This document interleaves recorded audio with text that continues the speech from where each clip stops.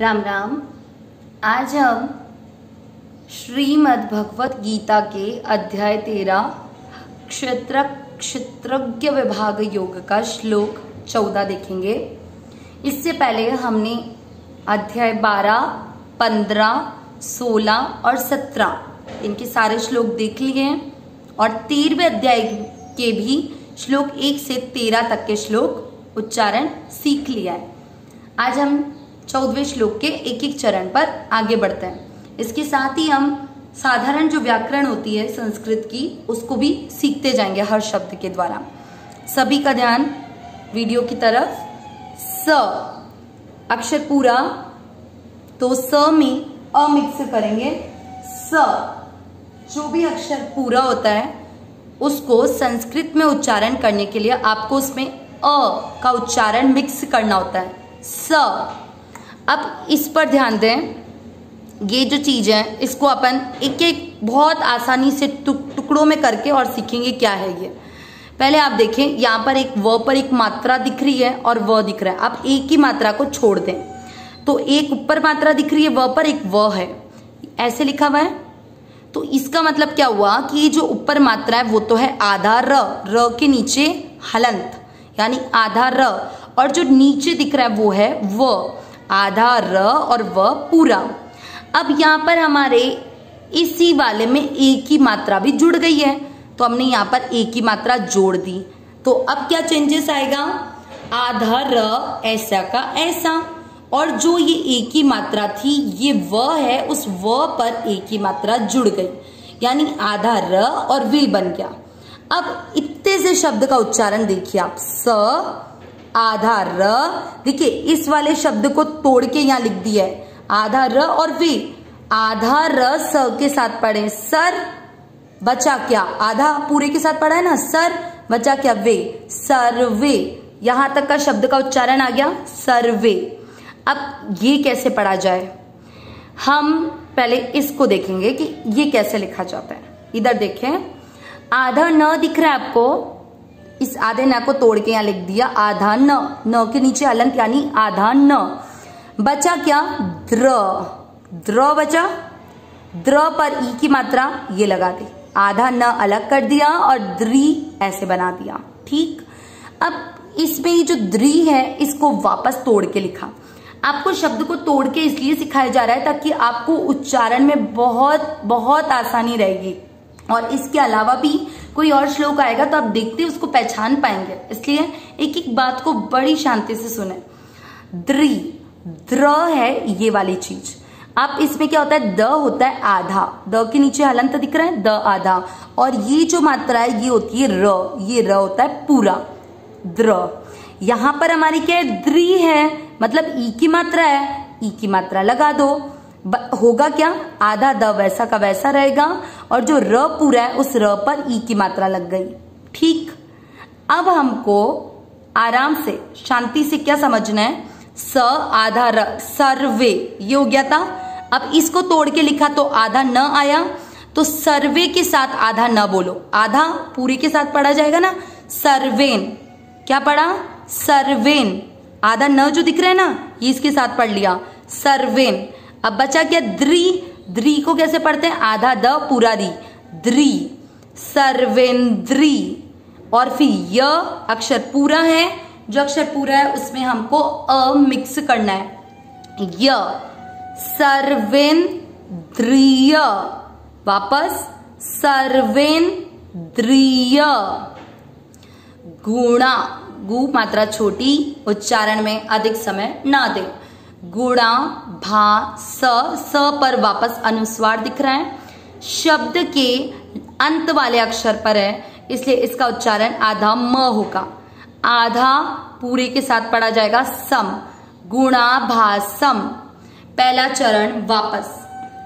सर्वेन्द्रिय गुणा भासम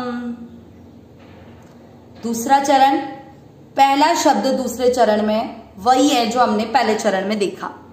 इसको वापस एक्सप्लेन करने की ज़रूरत नहीं है। स आधा र, सर्वे आधा न वे के साथ पढ़ा। सर्वेन्द्रिय सर्वेन्द्रिय वी, व पूरा, र आधा। र के नीचे हलंत दिख रहा है। आधे अक्षर को पूरे के साथ पढ़ा। विवर। जी, मात्रा छोटी, अधिक समय ना दें। पूरा, म, आधा। आधे को पूरे के साथ पढ़ा तम।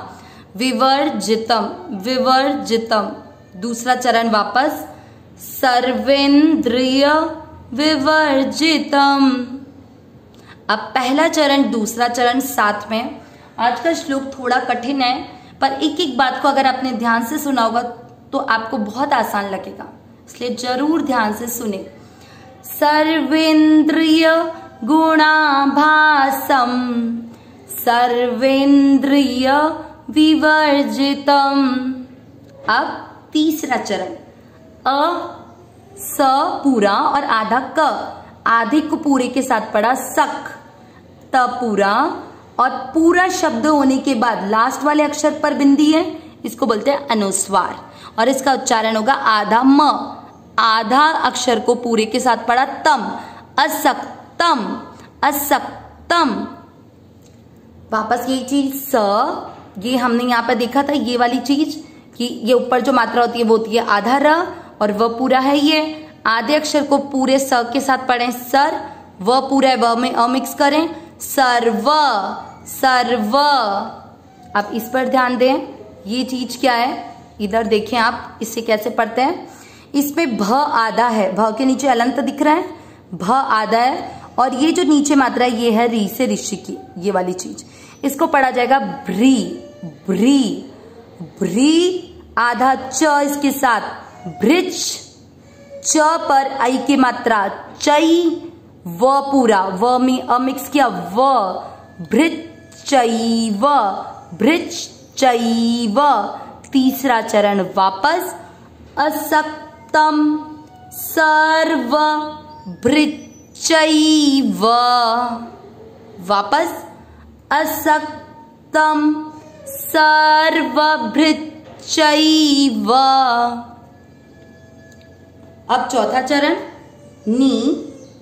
गु पर आधी मात्रा, वही चीज़ जो व में थी। ऊपर जो मात्रा होती है, वो किसकी होती है? आधे र की। आधे अक्षर को पूरे के साथ पढ़ेंगे, निर। पहले की मात्रा पढ़ी जाती है हमेशा। नी, आधा र। निर, गु ये ण है, अण। ठीक है ना? न न पढ़े इसको। निर्गुण और ये है फिर वापस अनुस्वार। शब्द में लास्ट वाले अक्षर पर है तो इसको पढ़ेंगे आधा म निर्गुणम। निर्गुणम। गुण, ण। गुण। भो आधा क। भोक त्री। इसको कैसे पढ़ा जाता है? वही चीज़ जो भ्री में थी, कि इसमें त आधा होता है, त के नीचे हलंत और ये जो नीचे मात्रा है, ये है री से ऋषि।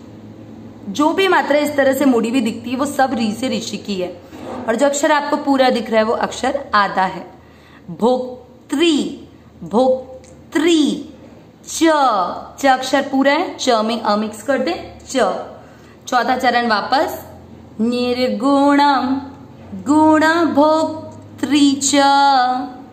अब तीसरा और चौथा चरण साथ में असक्तम सर्वभृचैव निर्गुणम गुणभोक्त्री च। अब हम पूरे श्लोक का उच्चारण एक साथ करेंगे। सभी ज़रूर करें। सर्वेन्द्रिय गुणाभासम सर्वेन्द्रिय विवर्जितम। असक्तम सर्वभृचैव निर्गुणम गुणभोक्त्री च। एक बार वापस सभी ज़रूर करें, इससे हमारा उच्चारण अधिक क्लियर होगा। सर्वेन्द्रिय गुणाभासम, सर्वेन्द्रिय विवर्जितम, असक्तम सर्वभृचैव निर्गुण गुण च। नारायण नारायण।